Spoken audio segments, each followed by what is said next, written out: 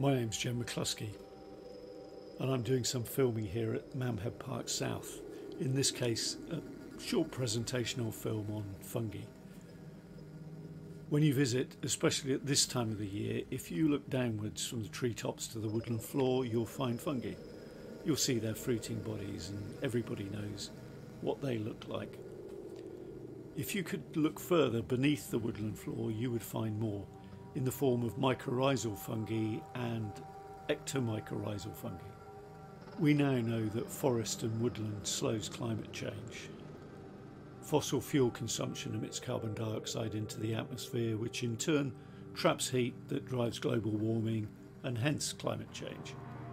The higher the concentration of carbon dioxide in the atmosphere, the warmer things will get until the Earth could likely suffer runaway atmospheric heating.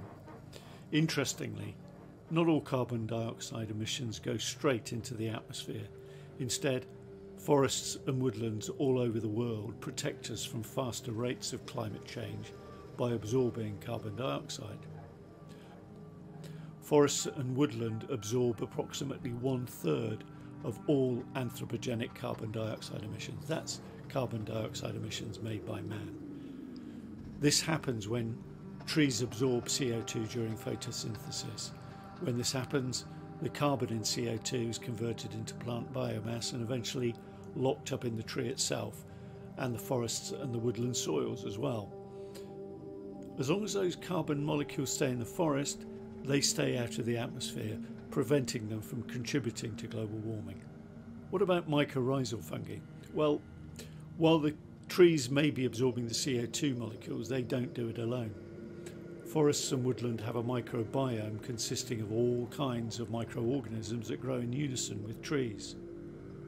And though any forest and woodland absorbs CO2 and in turn offsets global warming, some forests and woodland do it more efficiently than others. We are learning that in order to understand which forests and woodlands are best at absorbing CO2, in turn requires understanding what mycorrhizal fungi are present in the microbiome. Trees form partnerships with many different root fungi, but we are learning that particular root fungi called ectomycorrhizal fungi are helping trees absorb CO2 even more efficiently. What's more, ectomycorrhizal fungi slows decomposition, which we know is the natural process that returns carbon from forest soils back to the atmosphere. It's clear that ectomycorrhizal fungi enhance the ability of forests to keep carbon locked up in trees and soils and therefore out of the atmosphere.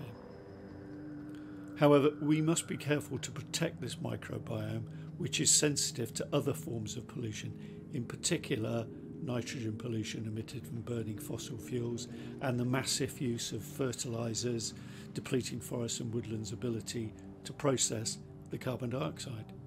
This is happening on a global scale. Therefore, the global community must reduce all possible forms of anthropogenic pollution, thereby helping our woodlands to help us and potentially the entire terrestrial ecosystem.